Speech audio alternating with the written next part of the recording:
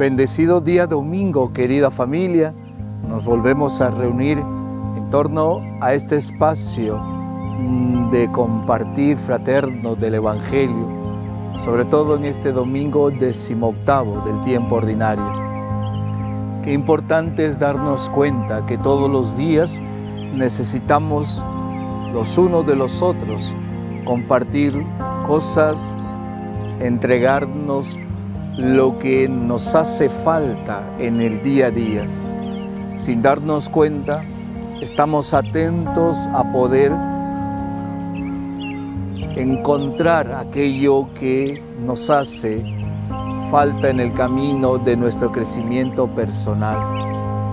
Por eso, hoy en el Evangelio, escuchando las palabras de Jesús, que nos invita a ir con Él, a descansar, a retomar las fuerzas necesarias para volver a la misión de evangelizar en su nombre, para poder dar frutos de santidad.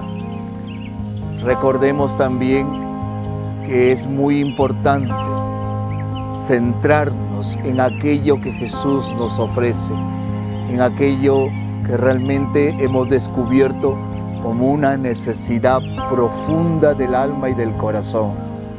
No queremos buscar a Dios para que nos solucione solamente los problemas temporales. No queremos quedarnos encerrados con la idea de un Dios que por arte de magia tiene que solucionar todo lo que yo le pido. No, que su misma palabra que nos dice, yo soy el pan vivo que ha bajado del cielo.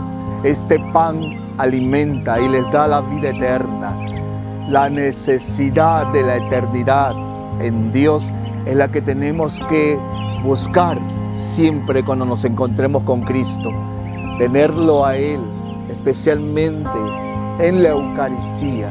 Recibirlo en ese encuentro de la fracción del pan implica también yo caminar, entregar mi vida entera para tener esa eternidad viva y actual más que nunca.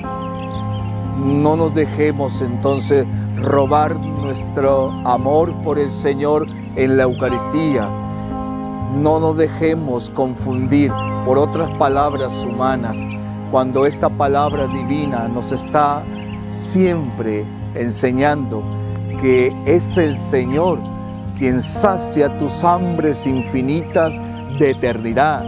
Esa hambre de amor auténtico, hambre de vivir en la verdad plena, hambre de ser un hombre una mujer libre para poder amar, para poder servir como el Señor lo hace contigo y conmigo, como el Señor nos ha enseñado con su propia vida. Quiero invitarte, querida familia, a que puedas compartirnos tus experiencias de cómo has ido creciendo en esa convicción de saber que el Señor es el pan vivo, es el pan de vida eterna que tú y yo necesitamos para poder perseverar en nuestra vida cristiana, que tú y yo realmente mm, encontramos la fortaleza para poder seguir perseverando y ser fieles al llamado que el Señor nos hace de ser discípulos suyos en el mundo entero. También los invitamos a que puedan ustedes compartirnos sus intenciones. Nosotros con gusto, con mucha alegría, como hermanos en la fe, estaremos siempre pidiendo por tus necesidades. Ponlo en la caja de comentarios y nosotros lo ofreceremos en el rosario y en la Santa Misa.